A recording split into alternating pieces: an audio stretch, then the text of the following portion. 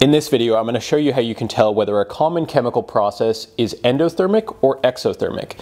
So the way that we tell whether a reaction or process is endothermic or exothermic in general is with this delta H here. Delta H denotes the change in enthalpy, and this simply means the heat evolved or transferred in a reaction or process at a constant pressure. The way that we calculate delta H, or the change in enthalpy, is by taking the enthalpy of the products and subtracting the enthalpy of the reactants from it. So for an endothermic reaction, delta H is positive or greater than zero. And this refers to a situation in which heat is transferred from the surroundings into our system. An exothermic reaction, on the other hand, is when delta H is negative or less than zero.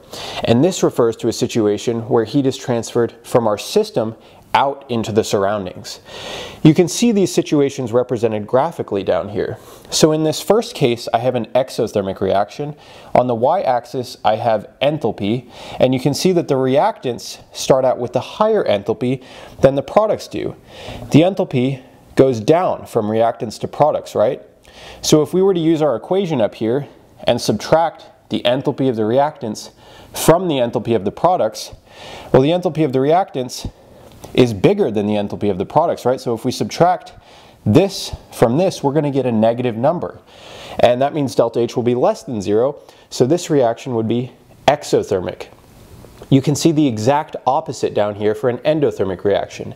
Here, the enthalpy of the reactant starts out lower than the enthalpy of the products. The enthalpy went up from reactants to products. So if I were to subtract this from this, I would have a positive number, or delta H greater than zero. So this is an endothermic process. So now I want to talk about how you can tell whether a phase change is endothermic or exothermic. And I have that written here, and notice I used water as my substance, but this works for any substance. So let's talk about melting ice into liquid water and then boiling that liquid water into water vapor. So when you melt ice into liquid water, what are you doing to the ice? You're putting heat from the surroundings into the system, right? Well, that is an endothermic reaction. So melting ice is actually an endothermic process.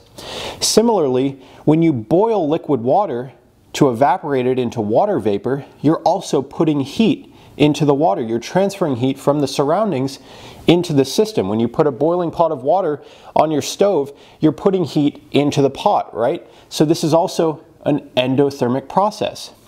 We can go the opposite direction too. If we start out with water vapor and we condense it into liquid water, well, we took heat away from the water vapor, right, to turn it into liquid. So heat went from the system out into the surroundings. This is an exothermic reaction. So condensing water vapor into liquid water is actually an exothermic process.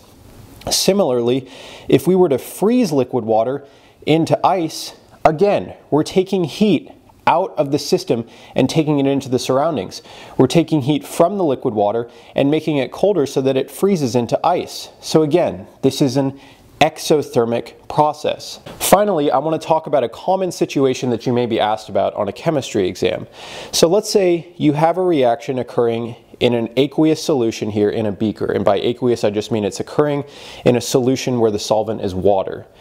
And you start the reaction at room temperature, and at the end of the reaction, you can feel the beaker and it feels hot.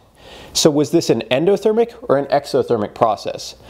Well, you can see here this must have been an exothermic process. So don't get confused here. Although an exothermic reaction means heat is transferred from the system to the surroundings, so you may think the beaker would get colder because it's losing heat, think about where it's losing that heat to.